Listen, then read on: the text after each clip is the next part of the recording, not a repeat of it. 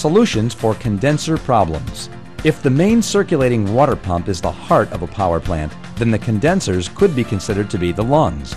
An improperly operating condenser will result in lower cooling capacity and in case of leaks, cross-contamination of the condensate, all of which translates into lower output and costly repairs. Even the best maintained systems suffer from galvanic effects due to the variations in daily water treatment chemistry. Typical repairs to a condenser come in the form of retubing and, in extreme cases, very expensive water box replacement.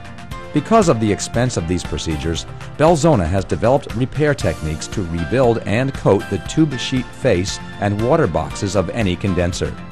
This solution not only repairs existing damage, but prevents recurrence as well. Our solutions utilize high-performance metallic polymers to rebuild metal loss coupled with protective coatings to prevent further erosion corrosion. Conventional repairs do not stop galvanic corrosion, and the damage will recur over time. Belzona rebuilding and coating grade polymers are electrical insulators.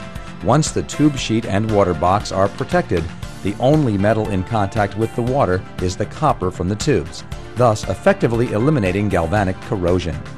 Work inside a condenser requires using safe and user-friendly products.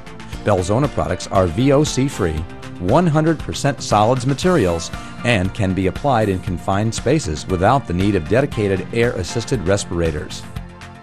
Facilities around the world trust Belzona with the long-term protection of their condenser systems.